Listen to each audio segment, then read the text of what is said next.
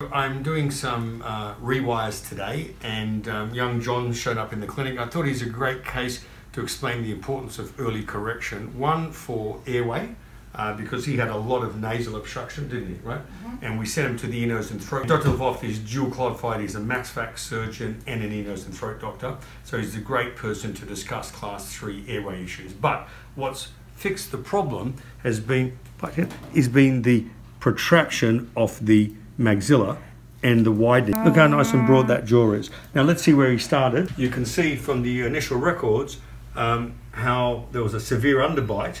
So we've done some bonded hyrax with 2 by 4 and then as the laterals have come through we've used some coarse spring and tied those laterals and now you can see a good positive overbite so we're ready to remove the hyrax and stop the face mask. That's where he is now um, and we can just have a look at how we've done the last talk when you have instanding laterals, the lateral tends to tip forward. So to finish the case, we use what's called a Goodman torquing spring. So this Goodman torquing spring allows the lateral to tuck in. As it tucks in, we get um, a much better stable platform. In a 2x4 case for class 3 with a crossbite, we add resin. When the patient has an underbite, the top teeth slide over. So next visit, we'll look at getting the braces off and then we'll give a special retainer called a Frankel.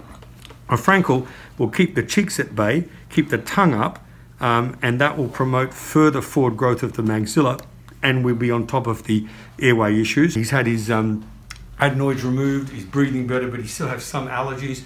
So we're going to refer on now to Dr. Suzie Bekir. Suzie is a GP who's fantastic with allergy control.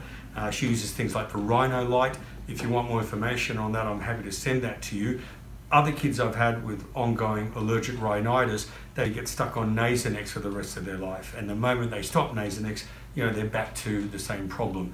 So the use of Rhinolight is a great way to maintain that. So my job as the orthodontist, as the holistic orthodontist, is to not take teeth out, which we've achieved with that nice broad jaw, to improve his breathing and his sleep, and of course to correct the underbite. And that's what makes some cases like this really important to, to treat early.